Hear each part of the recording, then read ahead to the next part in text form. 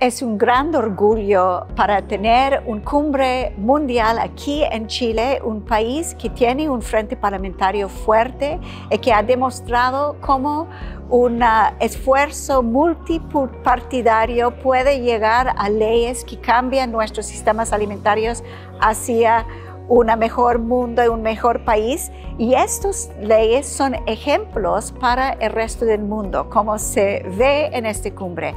como parte del Frente Parlamentario contra el Hambre,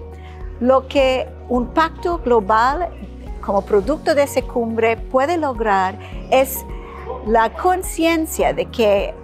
en un mundo, solamente en un mundo sin hambre, vamos a poder lograr todos los demás ODS. Con hambre no es posible tener salud, no es posible que los niños se educan, no es posible que las sociedades se innovan, no es posible conservar la biodiversidad de los ecosistemas terrestres y marinas y no es posible tener paz.